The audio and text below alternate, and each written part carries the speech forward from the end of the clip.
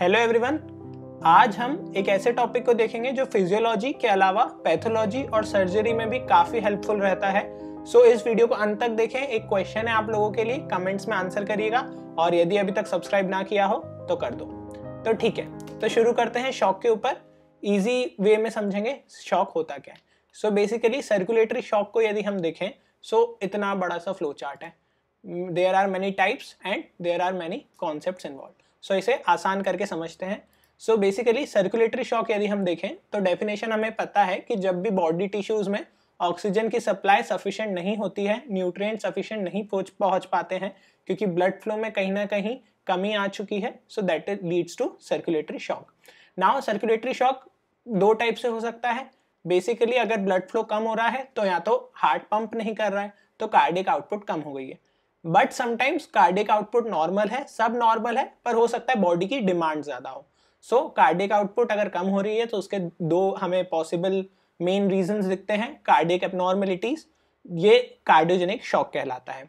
और ऐसे कुछ फैक्टर जिनके कारण वीनस रिटर्न कम हो जाता है, जैसे कि जिसका सबसे प्रोमिनेंट है कि ब्लड वॉल्यूम कम हो जाना। फिर जो डिमिनिश्ड कार्डिक आउटपुट है, उसमें क्या होगा कि मेटाबॉलिक रेट बॉडी का बहुत ज़्यादा है तो कार्डिक आउटपुट फुलफिल नहीं कर पा रहा है और टिश्यू परफ्यूजन पैटर्न्स थोड़े एबनॉर्मली डेविएट हो चुके हैं। सो so, इन सब का एंड रिज़ल्ट क्या होगा? अल्टीमेटली टिश्यू डिटोरिएट होगा और ऑर्गन्स जो है खराब होते जाएँगे आगे चल के। सो so, अब हम सबसे पहले कार्डियोजेनिक शॉक तो हम अलग से सीवीएस यूनिट में देखेंगे। हम इसमें हाइपोवॉलेमिक शॉक पे फोकस करेंगे जो कि factor that decrease venous return में आता है। सो so, इस फ्लोचार्ट को अब आप समझेंगे तो आपको काफ़ी सिंप्लीफाइड लगेगा। अब हम बात करते हैं पहले स्टेजेस ऑफ़ शॉक के ऊपर। तो स्टेजेस ऑफ़ शॉक में जिस तरह से ये फ़ोटो आपको बता सकती है कि non progressive stage compensated stage है, इसमें बॉडी गुड पोजिशन में है। इतना ब्लड लॉस नहीं हुआ है और जो कंपेंसेटरी मैकेनिज्म्स हैं, वो काफ़ी सफिशियंट है। फिर सेकेंड प्रोग्रेसिव स्टेज है, इसमें धीरे धीरे कंडीशन वर्सन हो रही है और यदि टाइम पे थेरेपी नहीं दी तो शायद इरिवर्सिबल स्टेज हो जाए, जिसमें अल्टीमेटली पर्सन की लाइफ भी जा सकती है। So in stages of shock को समझने के लिए हम एक बहुत अच्छा एग्ज़ाम्पल लेते हैं हाइपोवॉलेमिक शॉक का। हाइपोवॉलेमिक शॉक को हम डिटेल में समझेंगे और फिर आगे आने वाले वीडियो में जो दूसरे शॉक्स हैं सेप्टिक शॉक एक्सेट्रा वो सब तब देखेंगे। सो हाइपोवॉलेमिक शॉक में जो हाइपोवॉलेमिया मतलब ब्लड वॉल्यूम कम होना। सो ब्लड वॉल्यूम आप खुद सोचिए कब कम हो सकता है। हिमरेज के टाइम पे this is the most common cause of hypovolaemic shock साथ ही साथ कई बार प्लाज्मा लॉस हो सकता है, जिसके ये तीन रीजन है। इंटेस्टाइन ऑब्स्ट्रक्शन सीवियर बर्न और डिहाइड्रेशन और ट्रॉमा के कारण। सो so, अभी हम डिटेल में हेमरेजिक शॉक को पढ़ेंगे और इसे अच्छे से समझेंगे। सो so, अब बात करते हैं हेमरेजिक शॉक के ऊपर। सो हेमरेजिक शॉक में बेसिकली आपको पता होगा कि यदि हम ब्लड डोनेट करते हैं तो हमारा ब्लड लॉस हुआ तो क्या उससे हम शॉक में आ जाते हैं? नहीं। बिकॉज़ एक गोल्डन की रूल होता है कि 10 परसेंट जब भी बॉडी का वॉल्यूम अगर ब्लड वॉल्यूम लॉस भी होता है सो so, जो कॉम्पेंसेटरी मैकेनिज्म्स हैं वो सब ओवरले कर लेते हैं।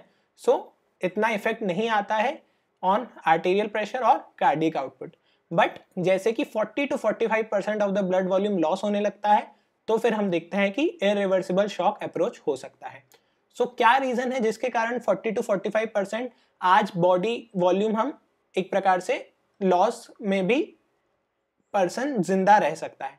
उसका इंपॉर्टेंस है बाय सिंपेथेटिक रिफ्लेक्स कॉम्पेंसेशन अगर सिंपेथेटिक रिफ्लेक्स कॉम्पेंसेशन नहीं होते तो यदि किसी व्यक्ति का 15 टू 20 परसेंट भी अगर ब्लड वॉल्यूम लूज हो जाता है तो उसकी डेथ हो सकती थी।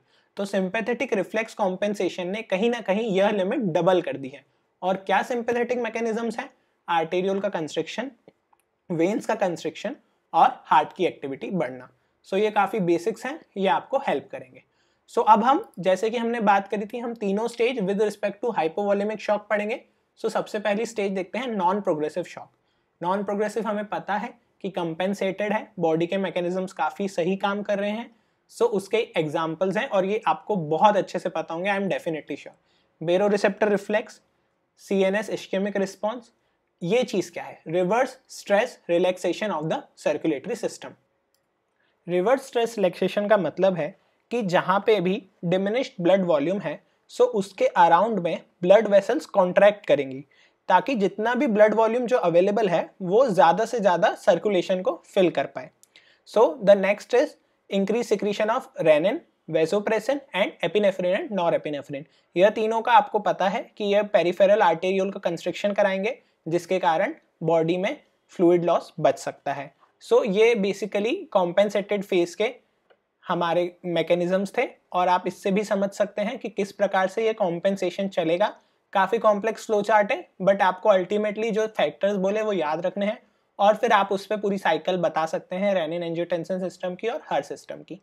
सो अब हम आगे चलते हैं कि कब ये कंडीशन प्रोग्रेसिव शॉक में जा सकती है। सो so, जैसे कि हमें पता है कि एक पॉइंट तक जैसे टेन परसेंट तब तक बॉडी कंपेंसेट करती है पर जैसे एक क्रिटिकल थ्रेश से थोड़ा सा भी पार होने लगता है सो बेसिकली सिचुएशन खराब होने लगती है। तो ऐसा क्या होता है कि सिचुएशन इतनी खराब हो जाती है और उसका रीजन है कि एक vicious cycle of cardiovascular deterioration activate हो जाती है। इसका मतलब आप ऐसा समझ लीजिए कि कई ऐसे पॉजिटिव फीडबैक्स हैं जो कहलाते तो पॉजिटिव फीडबैक हैं पर काम नेगेटिव कर रहे हैं बॉडी पे। वो बेसिकली फर्दर ऑर्गन को डैमेज कर रहे हैं। सो so, हम देखते हैं वो फीडबैक क्या है। पहले इस फ्लो चार्ट में इनको हल्का सा देख लेते हैं, फिर मैं आपको इनका पॉइंट अप करके बताऊँगा। सो so बेसिकली आपको अब देखते हैं कि पॉजिटिव फीडबैक होते क्या हैं। सो so, हम समझते हैं पॉजिटिव फीडबैक सबसे पहला कार्डियक डिप्रेशन बेसिकली जब भी न्यूट्रिएंट्स कम होने लग गए ब्लड फ्लो कम होने लग गया हार्ट में सो कार्डियक टिश्यू जो है, उसकी मसल्स वीक हो जाएँगी और अल्टीमेटली कार्डियक आउटपुट और कम हो जाएगा और शॉक प्रोग्रेस प्रोग्रेस होता चलेगा।